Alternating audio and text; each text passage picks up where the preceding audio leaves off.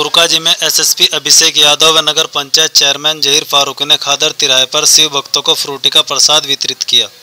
शिव भक्त पुरकाजी में जगह जगह पर व्यवस्थाओं को देखकर प्रशंसा कर रहे हैं। शिव भक्त बोल रहे हैं, ऐसी व्यवस्था कहीं देखने को नहीं मिली है। दरअसल दोपहर के समय ज़िले के कप्तान अभिषेक यादव पुरकाजी खादर तिराहे पर पहुँचे, जहाँ पर पहले से ही नगर पंचायत चेयरमैन जहीर फारूकी ने हरिद्वार से गंगा जल लेकर आ रहे शिव भक्तों के लिए फ्रूटी के प्रसाद की व्यवस्था की हुई थी। एसएसपी और चेयरमैन ने मिलकर शिव भक्तों को चिलचिलाती हुई गर्मी में फ्रूटी का प्रसाद वितरित किया।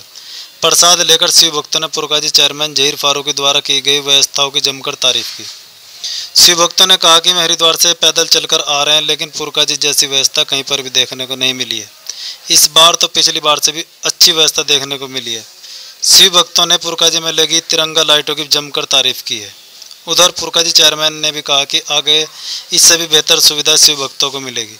इस मौके पर इरशाद फरीदी, हाफिज मोहसिन, सद्दू गोंड सबासद सुलेमान, नदीम कुरेजी, सद्दाम फरीदी, शमशेद फरीदी, साजिद त्यागी आदि मौजूद रहे।